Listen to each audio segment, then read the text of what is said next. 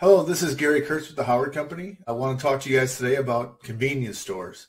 Recently, we've done a couple convenience store drive-throughs, uh, done some digital on the interior uh, for some branded restaurants, and I want to go over a couple of different ways that we can pull people into the locations. So if we can't get people into the store, we can't make them buy anything. A uh, couple things that we can do. One is add a drive-through. Convenience store drive-throughs are a little bit different than the standard drive-throughs. Uh, you know, there's a, generally a build-up for restaurant drive-throughs, uh, so they get very busy off the gate.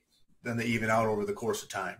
Uh, convenience stores are a little bit different. They start off very slow and then they build up. So you can't lose your momentum when you're when you're working on it. Coffee offerings are key, especially now when people they're not as apt to go into the stores unless you give them a reason.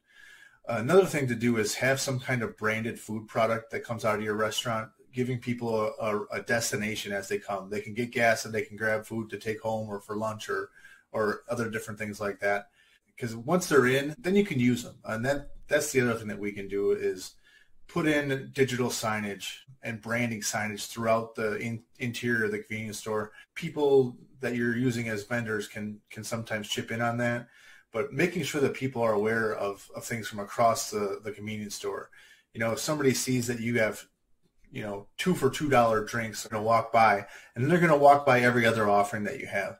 So having things that are just not out uh, labeled on the inside of the, the, cooler doors and on the on those shelves uh, can make a big difference. And digital signage does a great job with that.